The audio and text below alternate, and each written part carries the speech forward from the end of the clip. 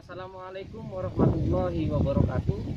Oke teman-teman, pada kesempatan sore hari ini eh, saya akan mereview hasil dari pengaplikasian bioorganik cair pada tanaman tembakau yang terhambat pertumbuhannya atau tembakau yang kerdil.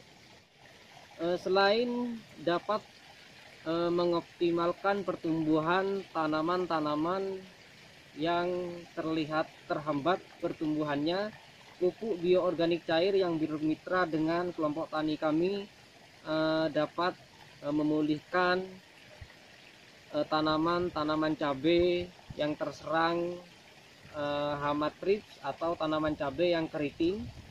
Dan mungkin jika teman-teman berminat eh, teman-teman bisa eh, order melalui kolom komentar atau dapat menghubungi nomor WA saya di deskripsi video.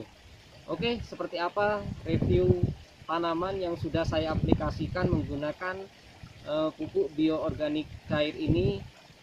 Teman-teman bisa langsung menyimak uh, videonya.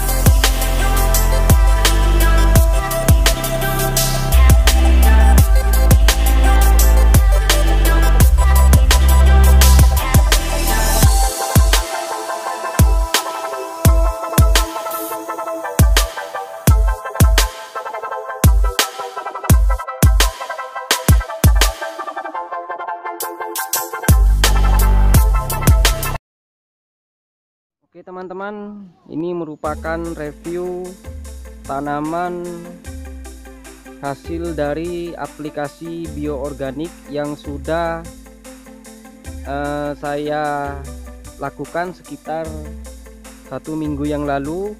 Teman-teman bisa melihat yang awalnya tanaman terlihat lambat pertumbuhannya, sekarang sudah uh, mulai menyusul tanaman-tanaman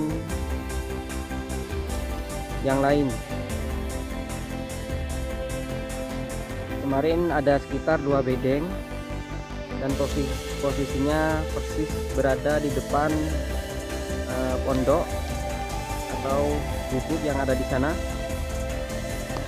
Nah hasilnya terlihat memang perkembangannya begitu cepat. Oke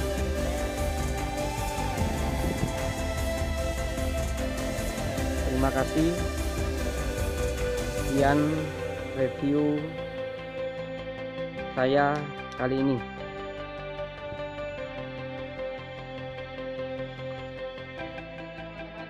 Demikianlah review video saya kali ini.